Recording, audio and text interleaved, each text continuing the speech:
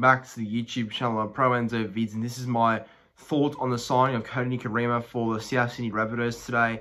Um, yeah, there's been talk that, you know, that a couple months ago, Nikorima was to head to the Rabbitohs, and that's been pretty much uh, said that now it's officially going to happen, and this will be confirmed either tomorrow or some point this week, from what I understand. So, look, it's a pretty good signing for South, so I must say, I think he's add a lot of versatility as a player, can play five-eighth, um, play a bit of hooker as well. So he's a very versatile player that I think will add a lot to that South Sydney team, whether he does, you know, get a spot on that side. I think he should. I think he will get a spot. Probably that Jersey 14 role will suit Nikorima best, I imagine. So he'd um, be pretty good, I think. I think he'd be going, I think he'd go pretty well there, actually being playing behind uh, Walker and I guess assisting Lachlan Ilias a bit more as a half as well, since Nikorima has had that experience playing um, halfback before.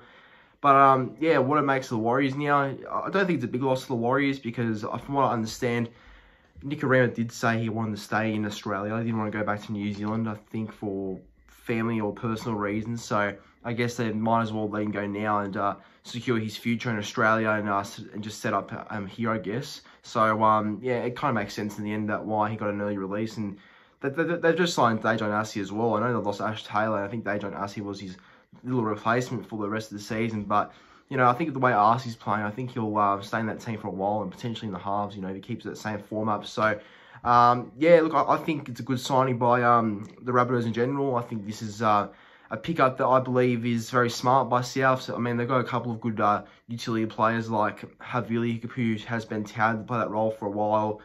Um, Mamouzelos was talked about being that jersey 14 as well, but I think the better option out of all of them is probably Nikorima since he can play more positions, and I guess that as well that he is always been a better jersey 14 than any playing any, any other position from what I have have seen from Nikorima. So, look, um, it is a bit of an interesting one, um, but you know it makes sense in the end. I think it's a good pickup by Souths and you know, it was funny because I think Nikorima was, was going to join the Dolphins at one point. I think I was talking he was going to go to the Dolphins because of uh, Bennett, who sort of kicked off his career, but um, not happening. So, um, yeah, look, I think, um, I think, you know, Nikorima, how old is he now? He's 28 years old, so he's got another four or five years left in the NRL, so he's got plenty of time. So I am looking forward to seeing how Nikorima goes in the next couple of years He's at South. So I don't know the length of the deal he signed with Rabbitohs. I, I think it's a two-year deal. Uh, have to wait for official... Um, I guess, uh, confirmation and what the details behind his contract is at South Sydney are. But um, yeah, he is signed there for a couple of years, and it's a good sign by South. So I think South fans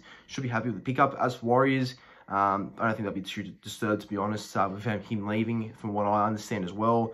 Uh, some fans are not, not too big on him, but some are. So, in general, good play Nikorima should go well there. But um, anyway, thanks for watching the video. You have, If you enjoyed it, uh, make sure to like, comment, and subscribe to the channel. And, and if you haven't already, make sure to su subscribe to the channel because currently at 1,000 from 1,860 subscribers. Yes, that's the one. 1,860 subscribers. Looking to get to that 1,870 mark by very soon. You know, I, hit, I smashed the 1,850 goal yesterday, so I'm looking to really get closer to the 2K. So, like I said, haven't already, if you're new watching the channel right now, I would hope you can subscribe to the channel. It would mean a lot to me and the channel in general. So, um, yeah, thanks for watching. See you in the next video.